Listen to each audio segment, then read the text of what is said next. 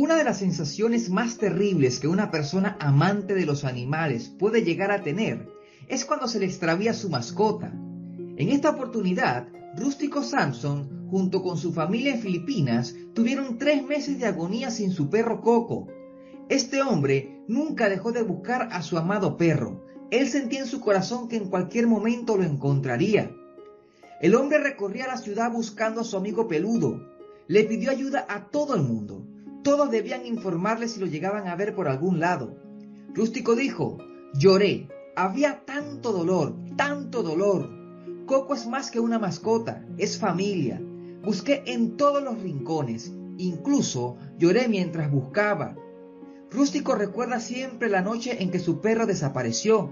Comenta que suele seguir a su hermano cuando sale a trabajar.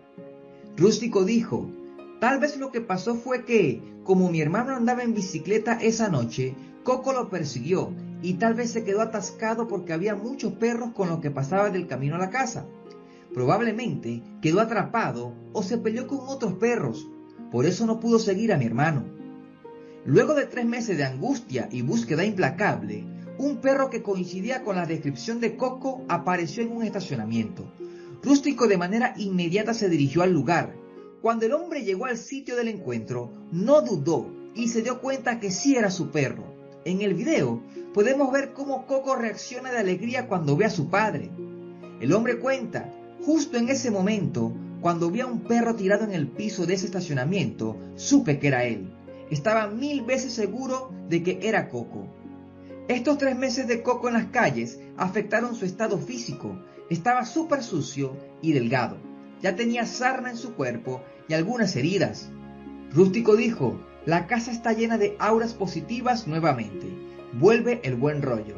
Además agregó, cuando se trata de tener una mascota, no importa si eres rico o pobre, siempre y cuando tengas corazón y el amor por ellos como de una familia. Cuando alguien de tu familia se pierde, nunca te rindes.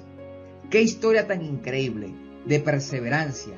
Muchas personas pierden la esperanza cuando se pierde su mascota, Hoy te digo que si eres una de esas personas que tiene su mascota extraviada, aún existe la posibilidad de que la encuentres, solo sigue teniendo fe y esperanza.